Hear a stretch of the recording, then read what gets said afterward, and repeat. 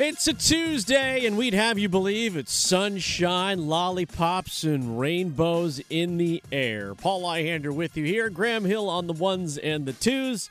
Yes, it is a bright, beautiful day for football fans all across the great state of North Carolina, wherever also you happen to be listening to us today, because right now it can only go from worse to bad. Correct? In most instances, that's where we are lining ourselves up especially when it comes to the Carolina Panthers, of which I have read multiple, multiple articles, multiple, multiple comments, and heard multiple, multiple things that the Carolina Panthers are the worst team in the NFL. Would you agree, Graham? Uh, yes. I mean, yes. It's hard. To, it's hard to disagree. Yes. Yeah. The answer is yes. As our good friend Victoria, the producer of the Adam Gold Show, would say, which comes up at noon every day here on 99.9 The Fan, once again, the Panthers be Pantherin. But Dave Canales, the Golden Retriever, is not worried about what fans think. He does not care what you think. His responsibility is to the coaches and to the players and to get things moving forward because half an hour after that game ended, that game ended, obviously. I say that game because I suppose that's how we could refer to it. But as he talked about that game with the media yesterday, we understand that Dave Canales is a different cat. And maybe I'm being a little bit undergenerous when it comes to calling him the golden retriever. Maybe he is that eternal optimist that everyone says, that relentless uh, beacon of hope when it comes to the Carolina Panthers. And he falls on the sword like no other which, to his credit, shows a lot of character. And maybe we do have the right coach in place. Maybe the Carolina Panthers do have, and I don't want to say we all the time, but I'm in this with y'all. I am. That maybe the Carolina Panthers do have the right coach. But maybe for it to go from worse to bad, we have to think about making some player changes. So maybe the pressure isn't all on Canales and all on that roster that's available to him. Maybe Dan Morgan's the one that's not sleeping at night. Remember, we, we were told in the offseason he got up early, worked out. You know, guy gets up super early, drinks glass of water, goes, let's go, claps his hands twice. All right, to go to work. I have a feeling that he didn't sleep well. Dave Canales says everything is up for evaluation. We're looking at all of it. So I think my responsibility as the head coach is to say, okay, let's look at all the processes and we had a plan. We went into the, the into training camp, into the preseason with a plan in mind. Um, the the ramp up as we got closer to the season, and you know felt good about the rep counts and all that. But I got to look at everything. You know, to to come out and to, in all phases have that much to fix. It starts with me. It starts with the process, and it starts with us combing through all of it to see. There's nothing you can do about it now about the past. But looking forward, as you circle back around, is, is there a way that we could have helped more? Was that David Tepper ch- chiming in, in the middle of that answer saying, good, good, good response? like the Emperor in Star Wars? Good.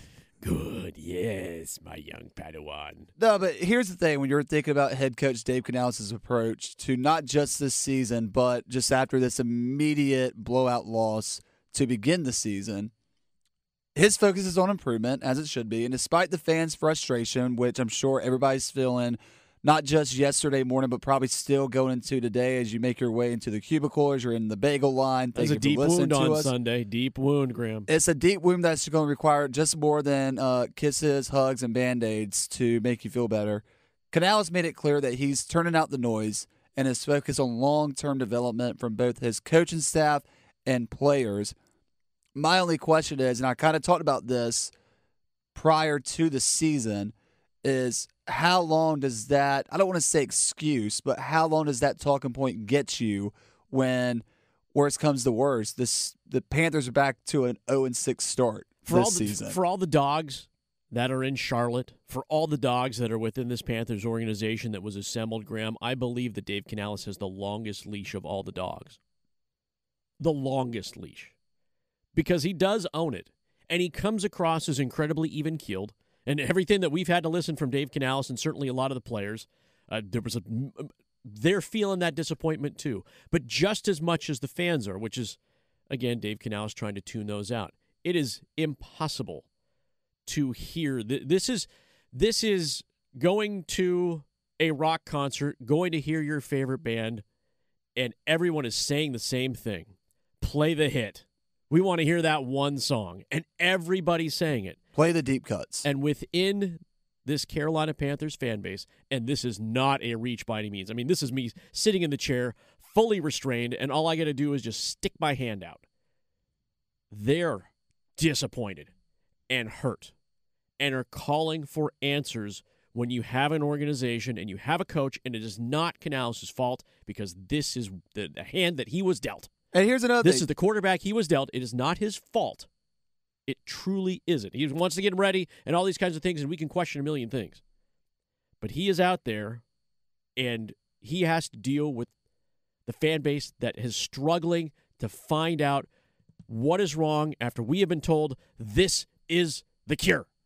well, not just the quarterback that he was dealt, but just the overall situation that he was dealt as as far as coming into a franchise that has dealt with mediocrity under David Tepper since 2018. Now he's stuck with the task of he's playing a game not just on the field but also in the locker room and in his office as far as building a culture versus immediate success. Canales seems committed to establishing a culture of growth, not quick wins. But when it comes to the Carolina Panthers and just the NFL in general, does this patience pay off overall, or does it risk losing not just the fan base early in his tenure, but the stamp of approval from David Tepper? It's the NFL. That's uh, Graham Hill. Paul Ihander here. Next up, 99.9 The Fan. It's an NFL issue. Dan Campbell in Detroit was was just trashed at his opening news conference several years ago. This is four years ago, right? Dan Campbell, four years. They went through a losing season. It was bad. Um, We're going to bite their kneecaps off. And everyone just laughed. Oh, he's nuts. He's going to bite their kneecaps off. Now everyone talks about the Detroit Lions as a Super Bowl contender. Can Canales get that kind of vibe? I'm not saying he's going to take the Panthers into that process where we get to hear, you know, Cam Newton come out, Luke Kuechly do a bunch of pregame kind of dramatic reads saying, "Oh, we're back and we're going to keep pounding" and all that kind of stuff. We can be real about it. But as I talk about that hand that he was dealt, he was handed the card of Bryce Young. Dave Canales talked about the missed opportunities Bryce had in the Norley game. I would say from a footwork standpoint, I thought it was a solid day. You know, as we went through the grades, um, looking at his footwork and the discipline of it, it was there. I think he missed a couple of throws. Um, I think that he's learning some of his guys, you know, and we've gotten all these reps, and we got to keep accumulating those reps, you know. But um, what I saw from him was was just kind of like, you know, missing a few of his opportunities um, that he had there. Um, and I also have to give the Saints credit for covering us really well. And they made it hard and they forced accurate throws. And that's something that we have to make sure we cash in on when we have those opportunities. So Dave gave Bryce an out by saying the Saints have a good defense. Okay, that's coach standing up for quarterback. But you opened up with footwork. This is like going on the first date and being asked, How was it? And they go, Well, she was nice. it was fine. You... Clearly, Dave Canales is not seeing what he wants to see in Bryce Young. And getting live fire reps in the NFL and working on timing with teammates and things like that, the teammates are going to fall on their swords too. They will. Diontae Johnson and Adam Thielen are stand up guys. They are. I believe so. I'm a big Diontae Johnson believer. I'm a believer, Diontae Johnson. I will shout that from the trees. I said it in the preseason.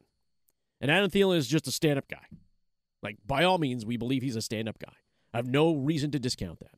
They will fall on the swords. Hey, we should have been more open. We should have been there for Bryce Young. And then you go back and look at the tape and you hear what Dave Canales has said with full honesty and transparency. He missed some golden opportunities. He missed, but he opened up with footwork. And that's a problem for me. That's a big problem for me. The devil's in the details, right? You do the small things so you can be great at all things. And if your quarterback can't get the small things done, you have a problem. Well, I mean, I, I guess coming out and starting with footwork and that and that statement is better than us coming right out and saying our quarterback sucked in week one because when you look at the statistical breakdowns, Bryce Young finished the game with very poor stats, showing struggles to adjust to the speed and complexity that the Saints defense was bringing. I can't believe I just used speed and complexity and the Saints It's- all but that's all real. But that's sentence. real, though. That's real. That we saw that real, Graham. But no, but just overall, Bryce Young looked hesitant in the pocket. He held on to the ball too long. He overthrew or made bad reads on that, or made a bad read on that interception, and it just looked like he was overthinking his uh, was he just overthinking his decisions or was he just that overwhelmed with the Saints defense? He saw him twice last year. This is the third time he's seen this team. I'm like, there's tape, there's preparation, there's coaching. Like you don't, there's there's one sole focus for every team and every week in the NFL. That's all you get. You have one game. Same way in college football. You have one game to prepare for, and you looked overwhelmed. That's a problem. Your coach is talking about footwork, how he missed windows. Dan Morgan went out and bought this guy a line. He went out and bought Dave Canales a line. He went out and traded for a number one receiver. He doesn't have the great tight ends that you would expect when it comes to like hands guys and the safety valve guys, but that's not the excuse. They couldn't pound the rock because they were from behind. They were playing from behind from play number one, so they couldn't run the ball. Canales said it himself. You can't run the ball when you're down four scores. You have to throw. You have to get big plays. Explosive plays is what they call it, right? Dynamic plays. They didn't have any of that stuff. There was nothing, nothing to hang their hats on. It, it, there is going to be a point on Sunday when the Panthers play the Los Angeles Chargers in Charlotte, the home opener on September 15th, where Derrick Brown will be sitting on the sidelines watching from afar or in a suite or whatever it is as they try to figure out what's going on with his knee. And the dude played nearly every snap in the loss against the Saints. So I'm not not questioning Derrick Brown's motivation to play football in the NFL, but he's going to have to watch. There will be a point in the Panthers Chargers game where the entire fan base will start either cheering or they will start booing this team. And you hope it's the one that I said first. Because there there will be a play, there will be a series of plays, something will happen on this field. And it may come as soon as the first drive if this team is not successful. And I hope it's not and I hope it's not one of those Bronx cheers, right? The Bronx cheer if it happens or whatever it is. I hope you just let them have it. You just let them have it. Because you go, this is not acceptable. But you've got bigger things to deal with now. I mean, this team is snake bit already. Yeah. Brown getting hurt. Oh my God. I mean, how many more guys can get hurt in game one? I mean, they were making fun of the Panthers hard yesterday on the Pat McAfee show on not to overreact Monday. Not to overreact. And it's it, maybe a bit of sleep has helped a lot of the fans a little bit go, okay, okay, okay, okay. It's one. We'll shake it off. There's 16 more. Bryce Young's over under, by the way, on on betting this season for yardage thrown is 3,200. So he had now has a margin of 161 yards to get to that 3,200 over 16 more games, assuming he stays healthy and plays every game and doesn't have a mysterious ankle injury. I just want to say, Paul, thank you because you have somehow got me excited to be in attendance at Bank of America on Sunday because I can't wait to see those two possible outcomes. And I'm just always the kind of guy where until I see it with my own eyes in person, right up in front of me, that's when I can finally decide, or that's how I can tell just how bad it is. Make the note. And uh, Graham, watch your footwork. My God.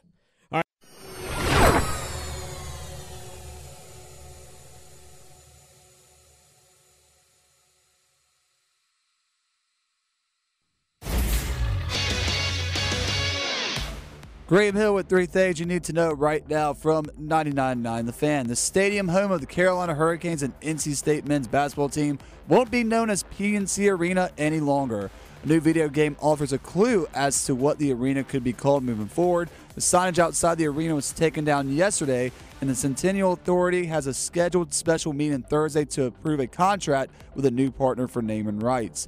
Aaron Rodgers is eager to get back on the field and feel the first few in his return from an Achilles injury that cut his first season with the Jets short after only four snaps. There was also the first loss as Rodgers showed flashes of a four-time MVP form in a 32-19 loss to the San Francisco 49ers. It starts with us, NC State head coach Dave Doeren said yesterday when addressing the media following the blowout loss to Tennessee as the team looks ahead to Louisiana Tech this Saturday. Find these stories and more on WRALSportsFan.com.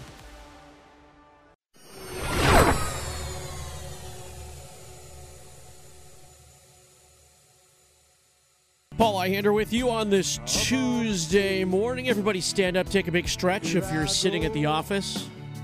Just kind of reach up, reach out. It's a good way to do that. Just relax, hang out with us. Thanks for making us a part of your routines. Know it gets a little bit crazy this time of year with, you know, school and practices. If you've got kids, or you know, hey, if you happen to be organizing your tailgate, or maybe you're the uh, head of your NIL collective. You know, it's that, it's that kind of year, right? It's great to be a part of uh, that and keep things busy for you. You know, the week one of the NFL is now complete and in the books. And to be honest, I was looking for something to discuss this morning, and this was one of those obvious things that just sits on our desk. You know, what have we realized about the NFL and after week one? And what I keep thinking to myself is if you can't complain about your quarterback, what is there truly to whine about?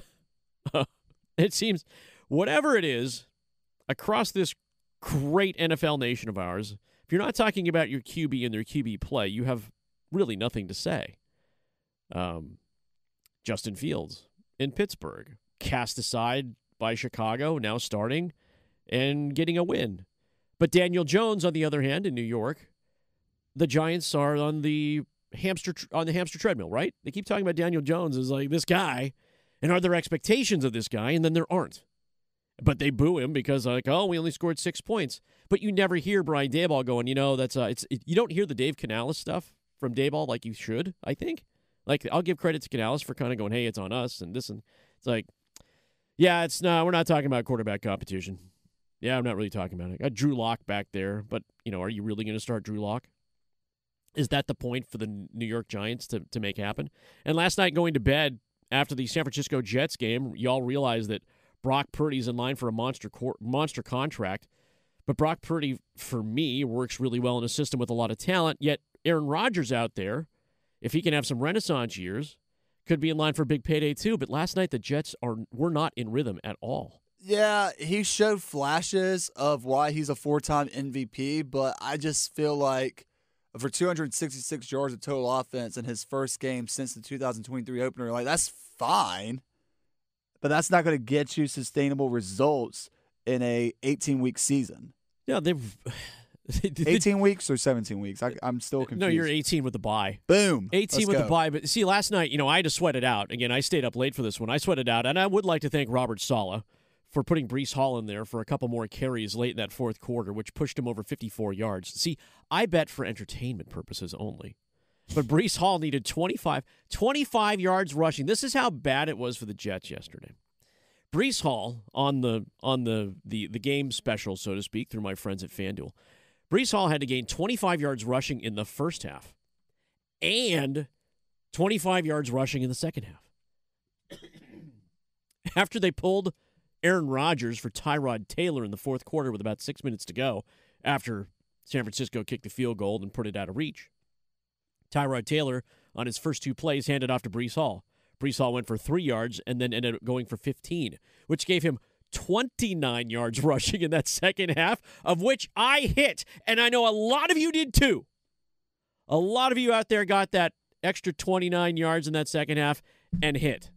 That was the only happiness I had after last night's game. I couldn't complain about a quarterback, and then I remembered, oh, Aaron Rodgers wasn't very good. He just wasn't very good last night. Without Allen Lazard, Jets offense was pretty junky.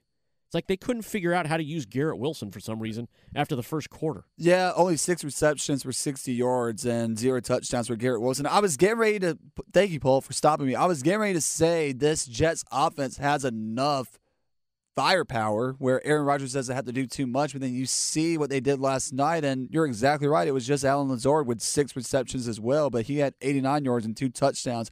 That was really the only one leading that offense outside of Breece Hall.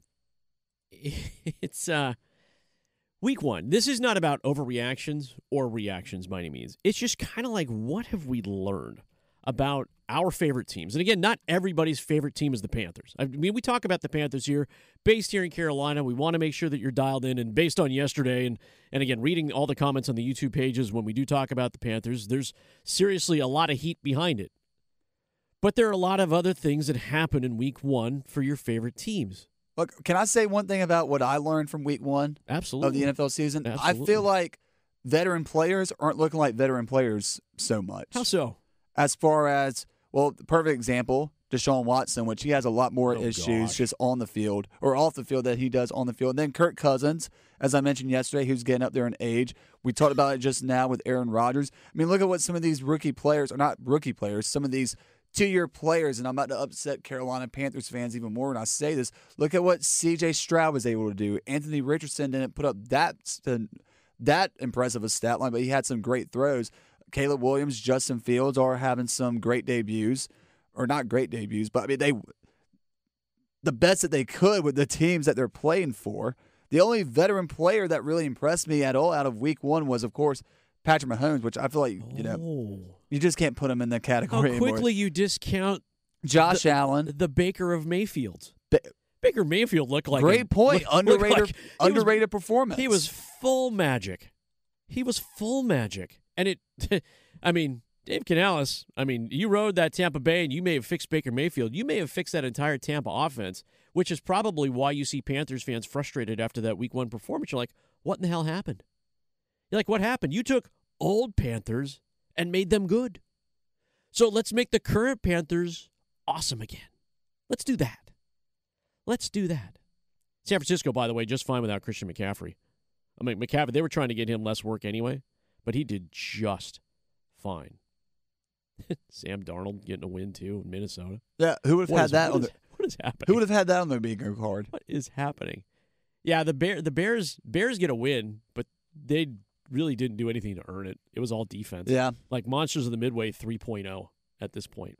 I mean, they locked they loaded up there. Hey, listen, if you're going to win, win on defense. That's fine. The uh, Denver Broncos did it in, in Peyton Manning's Super Bowl win with Denver.